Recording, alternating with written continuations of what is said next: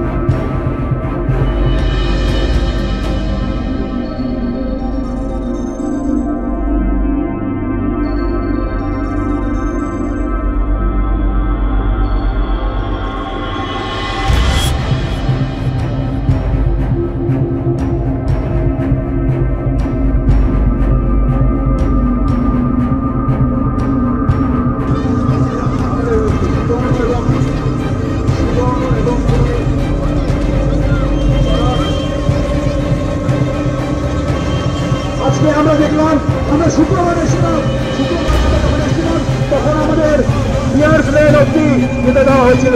আমরা ততদূর এগোবো ততদূর এগোবো ততদূর আমাদের আহ, ততদূর অব্দি একশো চুয়াল্লিশ ধারা নেই। আমি আমার সাথীদের বলব আমার চিকিৎসক সাথীদের বলব আপনারা মিছিলে হাঁটুন আপনারা মিছিলে হাঁটুন। আচ্ছা আচ্ছা।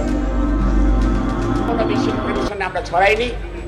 আমার একটাও আমরা, কোনো, আমাদের কোনো নেতা, কোনো কর্মী, কোথাও হচ্ছে নির্যাতিতা এবং মিতার নাম পরিচয় ফাঁস করেননি, যেটা মাননীয় পুলিশ কমিশনার করেছেন এক্স আরজি করেন ex principal doctor Sandip Ghosh করেছেন অন ক্যামেরা সেটা আমরা ভিডিওতে দেখেছি, মিডিয়াতে দেখেছি, কিন্তু আমরা তা করিনি। আমাদের কোনোভাবে তদন্তকে হচ্ছে যে প্রভাবিত করবার কোনো ইয়ে ছিল না, তদন্ত হচ্ছে যে সঠিক পাতে যাতে চলে তদন্ত যে হচ্ছে বিপথে চালনা করার চেষ্টা চলছে, তার বিরুদ্ধে আমার আমাদের বক্তব্য ছিল। এবং সেটার জন্য এই যে আজকে যে সমন করেছে, যা যা ধারা দিয়েছে হচ্ছে দেখা যাচ্ছে যে ওই মিস ইনফরমেশন ইত্যাদি আমাদের বক্তব্যে নাকি মানুষকে অপমান করা হয়েছে, কোনো মানুষকে নাকি প্রভোগ করা হয়েছে, ইত্যাদি নানা রকমের ধারা তারা দিয়েছে। আমরা যাচ্ছি গতকাল এই চিঠি পাবার পরে all India federation of government doctors association, যারা আমি অ্যাডিশনাল জেনারেল সেক্রেটারি, জরুরি মিটিংয়ে বসেন।